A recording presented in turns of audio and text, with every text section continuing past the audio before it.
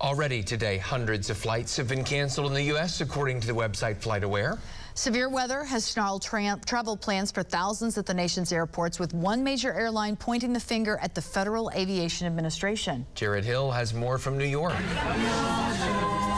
The Providence High School singers practiced and stretched to kill time while stranded at LAX. Their connecting flight to Newark was canceled, though they've been rebooked on new flights to get to their choir tour in Ireland. We've all been really patient, thankfully, and we've been trying to make the best out of this. Similar scenes played out in airports across the Northeast since the weekend, with severe storms stranding thousands. According to the flight tracking website FlightAware, more than 2,000 flights were canceled yesterday in the U.S., and another 7 7,000 delayed. We sat on the tarmac for four hours um, and then got here. We were able to get a rental car, but we waited for like three and a half hours. United Airlines says 150,000 of its customers have been affected. In a message to employees, the company's CEO slammed the Federal Aviation Administration's decision to cancel flights in the Newark region, claiming the severe weather is something the FAA has historically been able to manage. The FAA has recently struggled with a shortage of air traffic controllers. The FAA is speaking to this and,